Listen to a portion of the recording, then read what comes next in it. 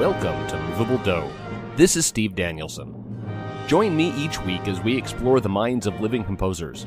We talk about their lives, their musical journeys, and of course, their music.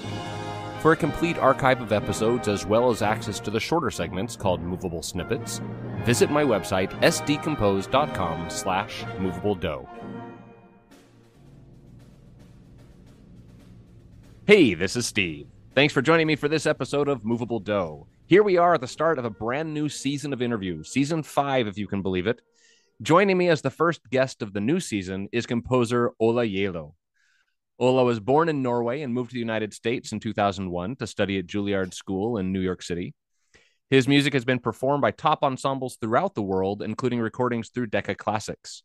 In 2015, the choir of King's College, Cambridge performed Ola's Serenity, O Magnum Mysterium, at the annual BBC televised Christmas Eve service. In addition to composing, he's an accomplished pianist, often improvising over the top of his published choral works. Ola's music is published by Walton Music and Boosey and Hawkes. Ola Gjeilo, welcome to Moveable Do. Thank you so much for having me.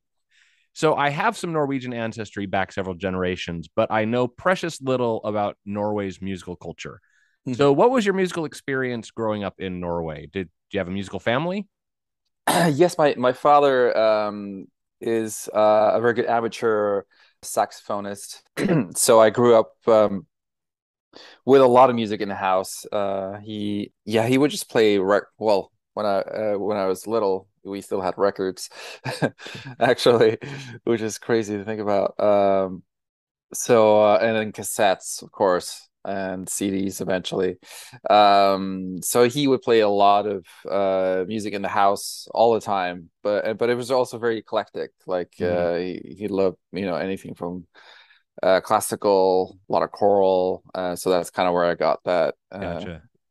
bug from. And then um, yeah, you know, jazz, folk music, Norwegian folk music, which I love, uh, pop uh both you know kind of oldies and new stuff so um yeah so it was very sort of all over the place which was really great for me to be subjected to sure. to so many different styles and and um so that that was kind of the you know in some ways the most important education you know i could, could have had because you just kind of especially when you're still little you just assimilate everything kind of intuitively and um um, so yeah, that that had a huge uh, effect on me. And then I started playing the piano when I can't remember exactly. I was I was very little, um, but our, our grandmother gave us uh, a piano when I was one.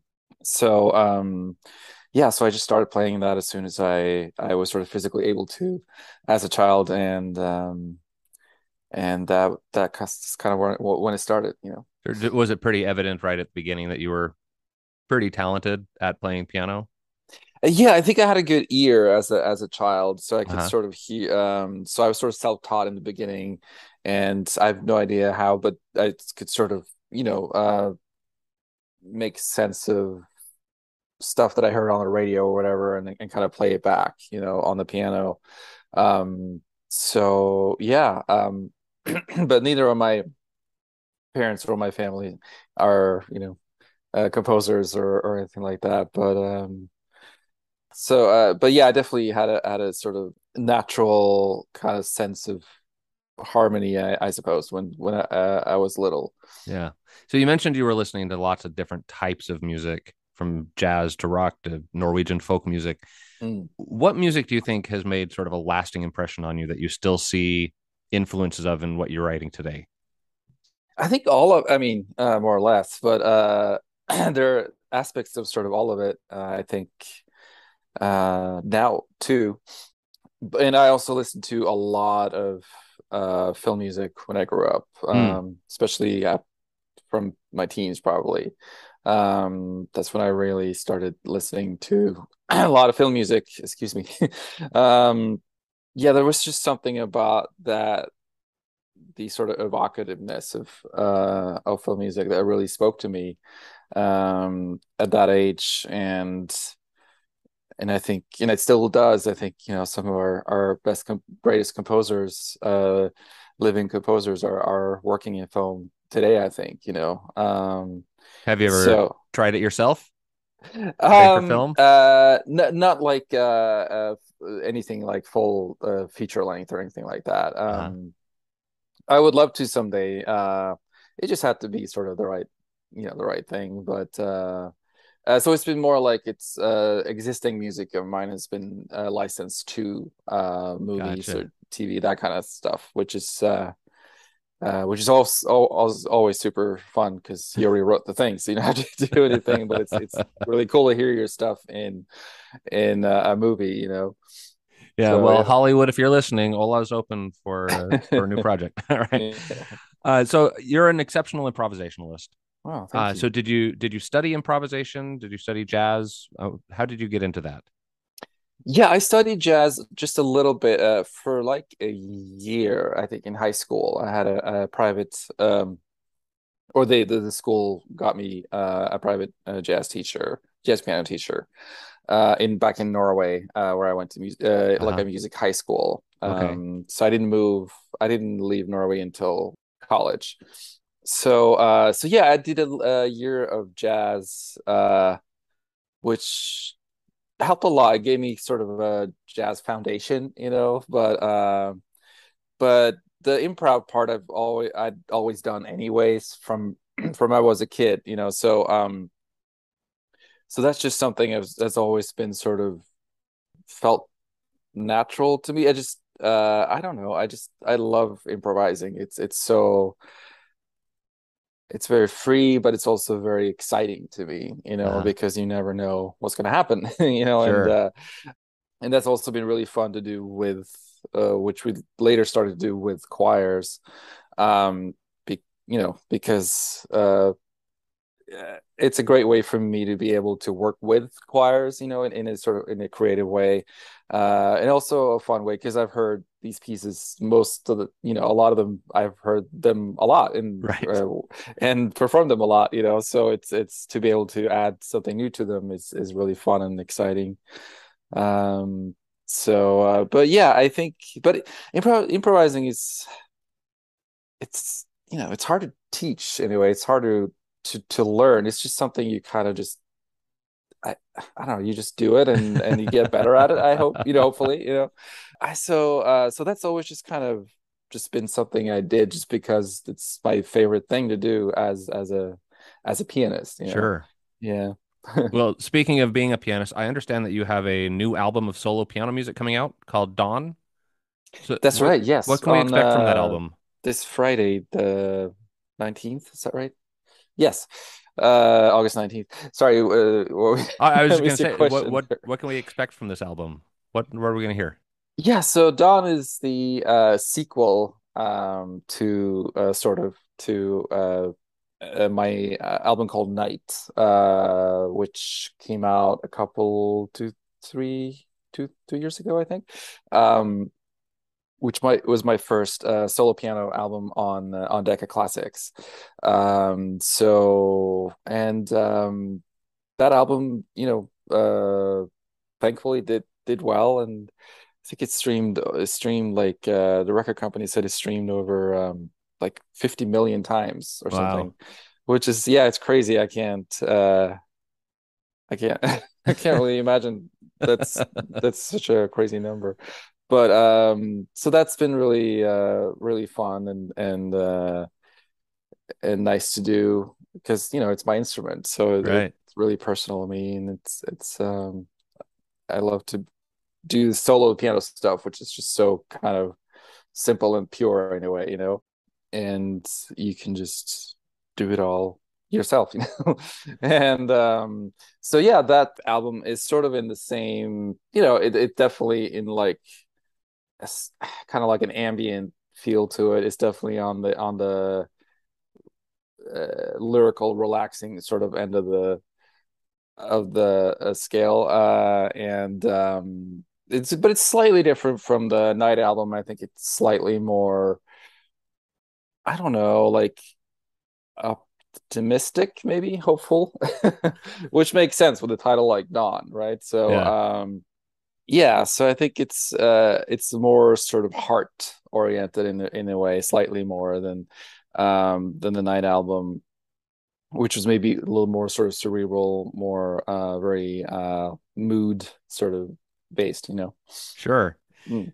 So, going sort of back to your life in Norway, I, I, wanted to contrast it. When you came to Juilliard to study, what were some of the biggest differences you noticed between the United States and Norway, both musically and non-musically? What what was sort of your culture shock like? Yeah, that's a good question. It's it's so hard to compare because it's so such a hugely different, you know, scale uh, mm-hmm. between Oslo, which is an awesome little city, and New York City, which is a, a gigantic city, extremely. And, and, Norway is fairly kind of spread out, right? Because it's uh, it's sparsely populated, right. but people are living all the way from all the way to the north tip, you know, which is really really far north. So it's it's sort of more spread out country, and and in New York and especially Manhattan, everything is right on top of utterly concentrated in the most, you know, because uh, you're you're trying to to cram all this stuff into one island, and um, so yeah, it's it's a, it's a bit of a culture culture shock, you know. But I think I just always just wanted to experience that to be in like a massive metropolis, you know, where, uh-huh. where it's it never s- sleeps, and and I'm very much a night person, so I like when you know late night there are still tons of beautiful lights all all, all around you, you know. Um, so I love that sort of uh, feeling at night in New York City, and uh, so yeah, I just really fell in love with with the city and and uh, uh, felt at, at, home there. And uh, and Juilliard too is, is such a different type of conservatory. You know, I because I went to the uh, conservatory in Oslo uh, mm-hmm. two years before that, before I transferred to Juilliard, which is uh, I mean you know a, a music conservatory which was uh, was wonderful. But so, but the at Juilliard, uh, it's also music, dance, and drama as well. So it's right. this, it's this uh, you know incredible environment of artistry kind of in any field almost so it's it's a it's a really exciting uh, place just to be you know apart from the academic stuff and and you live kind of right at Lincoln Center right so it's a it's a in the middle of Manhattan so it's it's you know it's incredible place to have a campus and uh, so that was you know that was really exciting you live literally by the uh, the Met- uh, Metropolitan Opera and the Avery Fisher Hall and, and Carnegie Hall just down the street. You know, yeah. it's it's a it's it's a crazy uh, place to be just dumped into as a in your early 20s you know and i lived at the dorms which was at juilliard you know in this mm-hmm. high rise kind of sticking up from from the juilliard building so yeah i don't know it's um the differences, man, I don't know where uh where to begin. I think uh what I love about Norway and America is they they complement each other so well. They're such uh-huh. incredibly different countries in in every way, but in in the best way, I think, you know. So it's it's nice to sort of toggle back and forth between the two, you know. sure, sure. You know, yeah. I actually wanted to ask about one of your experiences in New York. So I, I know you were or maybe perhaps you still are composer in residence with DCINY. Yes, are you, yes. Are you still with them? Mm-hmm. So that's Distinguished Concerts International New York. What mm. are your responsibilities with them as composer in residence? I'm just curious. Not too much. It just means that I've sort of affiliated with them in in New York City. Um, so we we sort of do more regularly something like we put on a, a concert or a concert half, you know, of of my music, and, okay. and usually I'll be involved in in um, little rehearsals and that kind of. Sometimes I'll play, you know, and uh, or usually I'll I'll play um, so far, and uh, yeah, so it's that, and but I'm also uh, writing a new piece. Um, they're commissioning uh, a piece from me for next year. Oh, nice. Uh, yeah, so um, that I'm finishing in the spring, and then the world premiere will be in the fall with one of their mass choirs mm-hmm. from from all uh, you know around the world, and with orchestra. So uh, so yeah, that's a it's a around half hour piece uh, that I'll I'll be writing for them. Um, so that's that's uh, that's very exciting, and and uh, I think yeah, the premiere will be Carnegie Hall, I think and then uh, so it looks like it will be based on something uh, Norwegian, like we wanted to base it Oh, on like cool. a Norwegian uh, folk tale or, or something like that. We haven't quite decided yet, but um, so that that's really exciting. Um, so yeah, it's it's it's mostly you know doing rehearsals with uh whenever they do a concert of my stuff, and uh, especially when because I've lived in New York for for years, so it's it's uh it's such a great um great way to be able to connect with a lot of singers and conductors in this way because they Yeah. come to from all over the world to the city where I live. So I can, you know, it's uh, it's a lot easier than me traveling to all, you Sure. know, all over the place. Yeah. In Uh, 2015, I actually brought my high school students up from Memphis, mm. uh, and you were part of that concert. Andre Thomas was directing, and we had a great time. oh, wonderful. Yeah. Yeah. So we've talked about your piano playing and improvisation, but much of your music is choral, and you you talked about how your dad sort of introduced you to choral music. Uh, but what what sort of keeps you drawing you back to choral music? What is it that you love? That's a good question.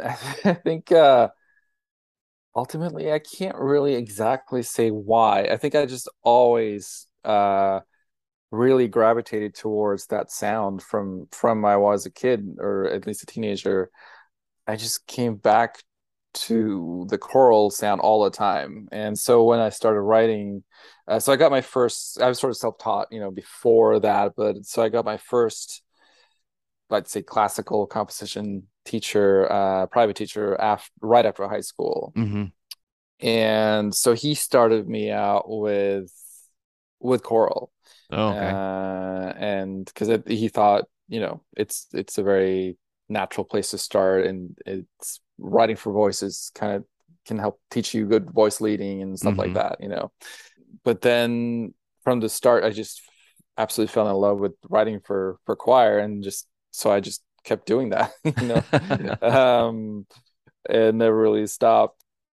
I don't know. I think i mean obviously i i love the human voice and in general as an as an instrument of course but i also like in choral it's such a it's such a great environment too i think uh both both artistically and and socially and there's so much much sort of warmth i feel in that world and they're so passionate about what they're doing and, and singing and and I don't know. It's just a very nice. It's just a very nice world to be in. You know. Sure. Well, you know, as a as a choral composer, you often have to deal with text. So yeah. when when you're starting a new piece, how do you decide what text to use? sort of a lot of factors. I mean, it depends on the commission, the some you know what sometimes they're looking for something specific, or they already even have a specific text in mind, or a specific direction. So that can help, uh, you know, decide. And then often they'll have you know a preference between you know sacred or secular or, or Latin or English or or Norwegian for that matter.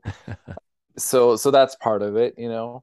I mean, one of my favorite things is to work with uh, Tony Silvestri, um, who who's written um, for um, for a lot of uh, choral composers, Mhm. especially, uh, and he's he's just really great to work with, really easy, very flexible. And so it's a really fun kind of collaborative process and, and a lot of kind of back and forth. Sure. Uh, so you really get to kind of mold it, you know, together. And I don't know, it's exciting when something, a, a text is written exactly, f- uh, specifically for that piece, Mhm. you know, and, and we could really shape the text to be exactly what we wanted to express, you know. Yeah. Um, so I, I I I really like that. But other than that, uh, yeah, I have sort of a bank of poetry, so uh, I tend to read tons of poetry and just um, I remember those little books, you know, those little everyman books that Mhm. you can get. like they're so cute, but they're uh so I, I just buy a bunch of those books and like read through because they give you a gra- great cross section of tons of poets, you know, or types of poetry.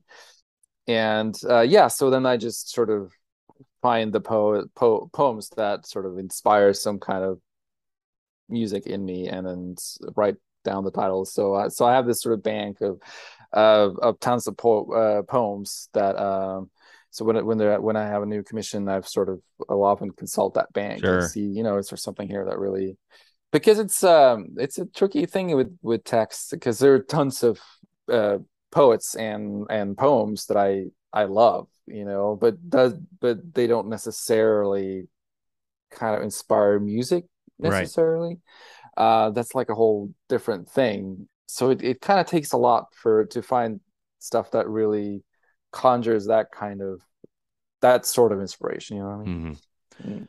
all right i got one last question for you before we take a quick break mm.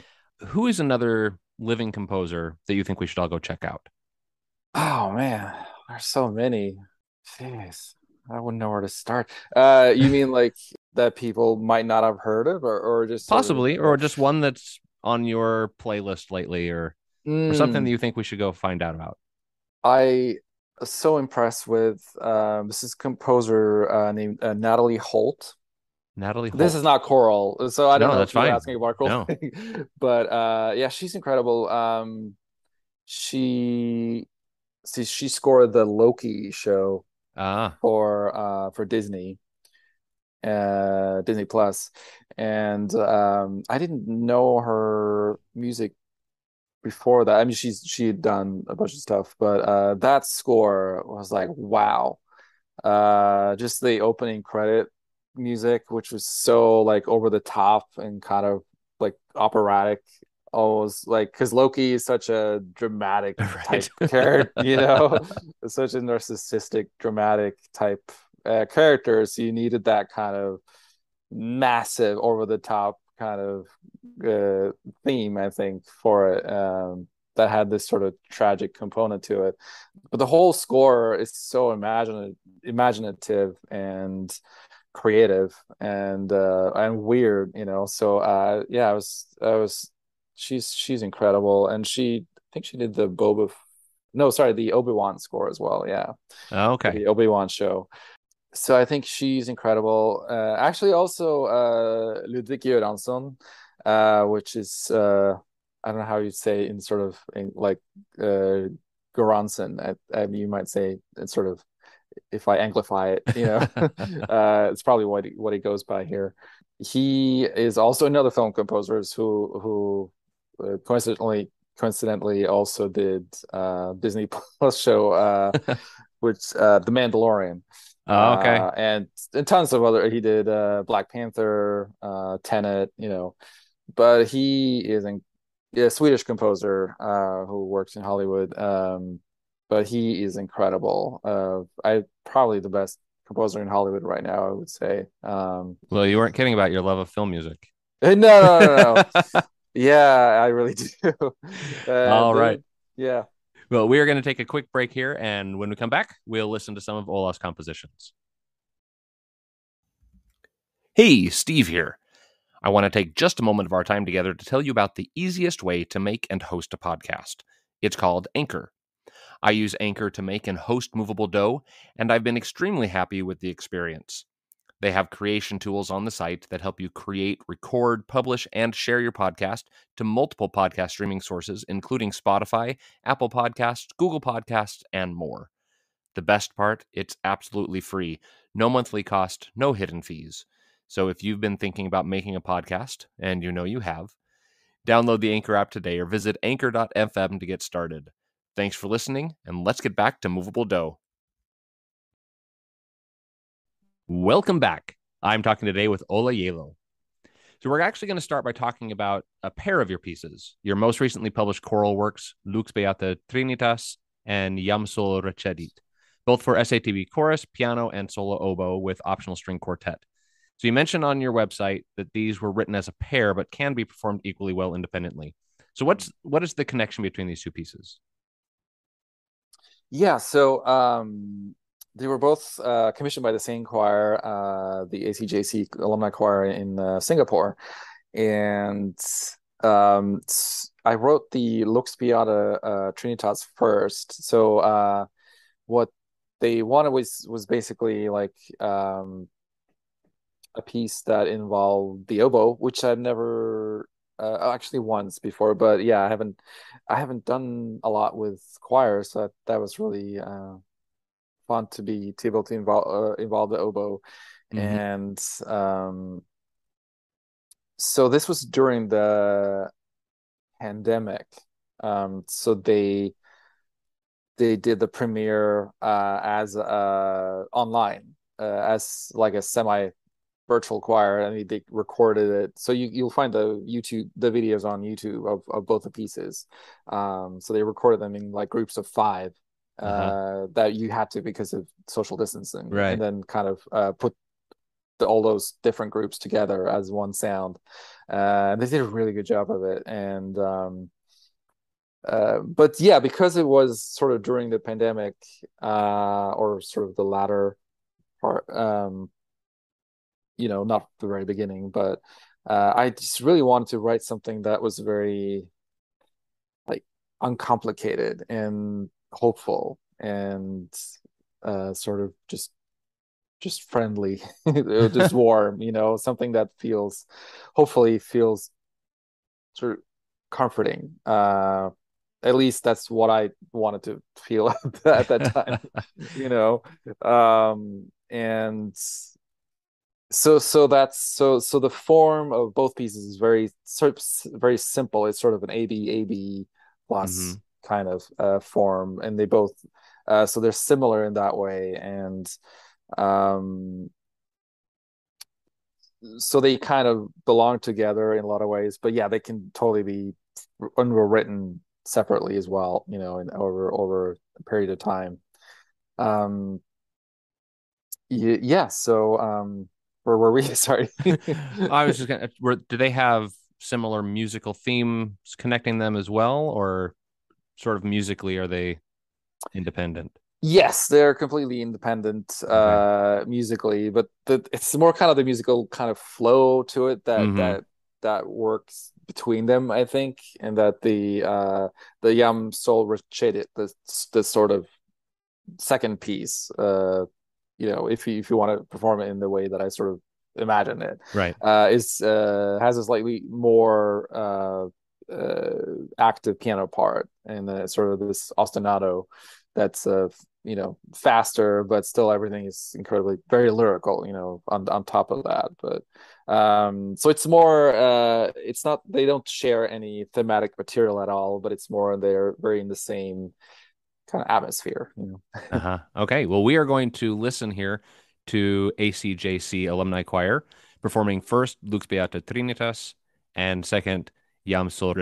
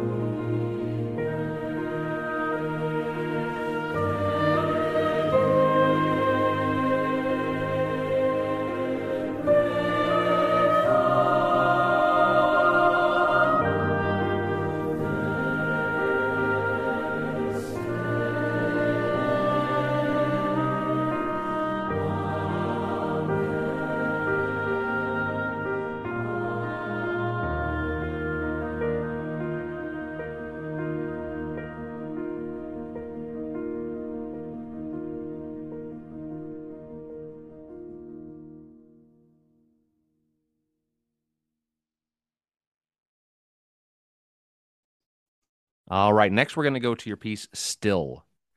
So this started out as a piano solo, but now arranged for wordless choir and harp or piano. So it started with no text, and now even for choir, it has no text. so what does the what does this piece mean?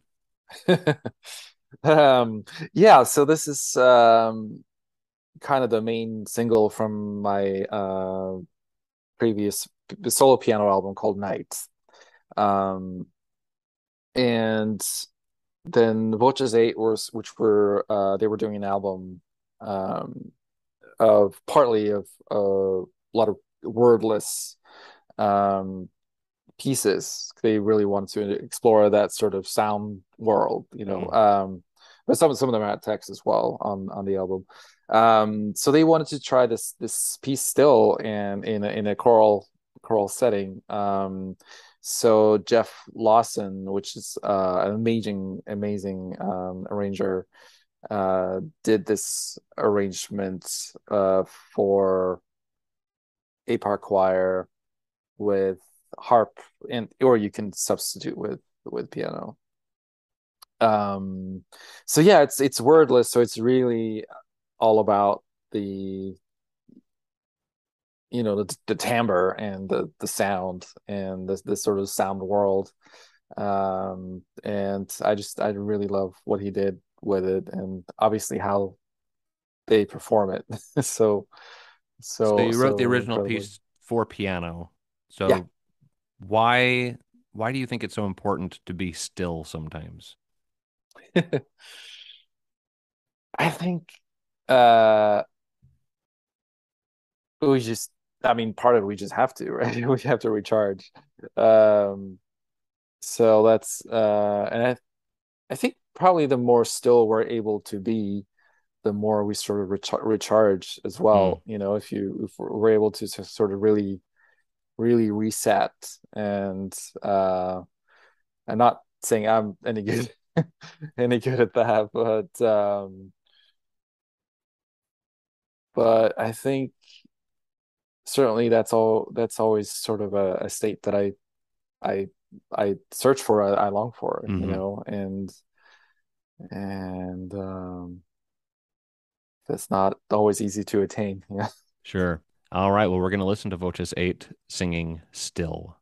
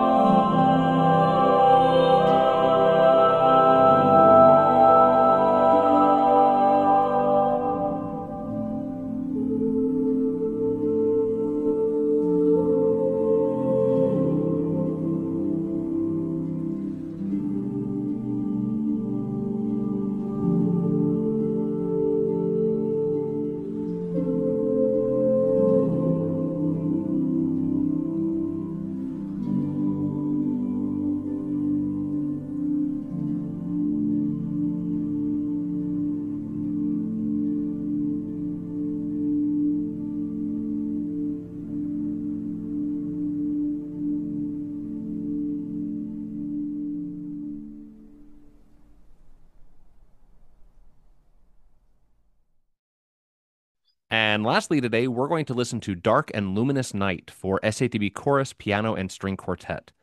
So, this is a combination of two earlier works that you wrote Dark Night of the Soul and its sequel, The Luminous Night of the Soul. Why did you decide to combine these two into single work? Um, I think it was actually uh yeah, it was a request from um for the record uh the record company uh with Decca Classics. So Mhm. uh I did my first album with them in like 2015 or I'm quite yeah, it's uh, around there. Um so they asked um because they wanted to have a lot of different pieces on the album uh because it was my first album so it was sort of a cross section of of stuff uh I had written and and newer stuff you know. Um so Dark Night of the Soul and Luminous Night of the Soul like the full pieces uh together would take up a lot of that album because it, they're you know fairly long pieces. Uh it's probably be about 20 minutes altogether. Hmm um so they asked if I could do like uh, a sort of a combined short version of the two, and, and I never really thought of thought about that, and uh, so and that's kind of the cool one of the cool things of working with like a record company or a publisher, and th- that they can really give you kind of creative ideas that are kind of born out of more kind of commercial reasons or interests, but but but also can be really really helpful and useful because it's stuff uh, I didn't never would have thought of that, you know. And uh, so there was it was kind of their idea, and and so I started playing around with it, and and and I and I just kind of took up my like my favorite parts uh, of the two pieces and really concentrated them, and then Mm. put them together into sort of one piece, uh, which is basically a short version of Dark Night of the Soul with uh, a short version of Luminous Nights of the Soul as sort of like a coda, which is really just the ending of that piece, which is this sort of never, uh, this kind of rush that never stops, uh, this fast ostinato thing.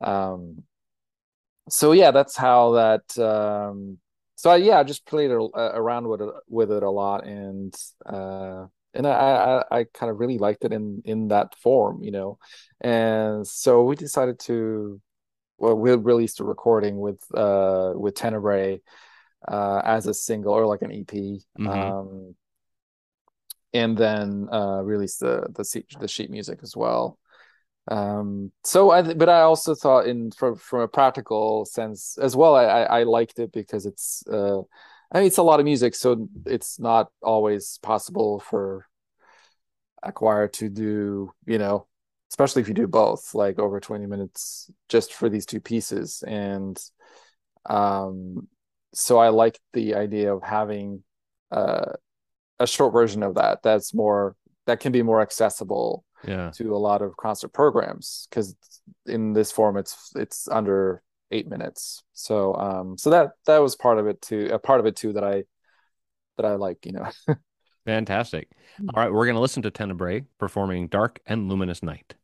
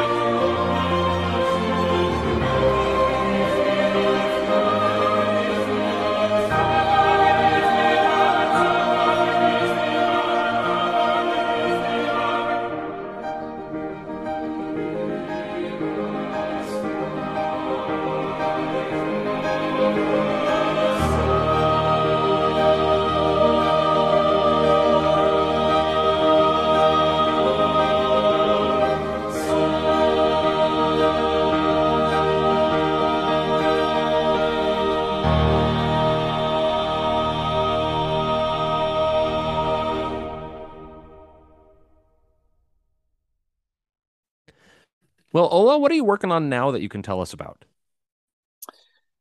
Um, so right now, um, well, we're sort of right in the in the um, last sort of um, sprint to uh, to uh, release the uh, the new piano album Uh-huh. uh, called Dawn.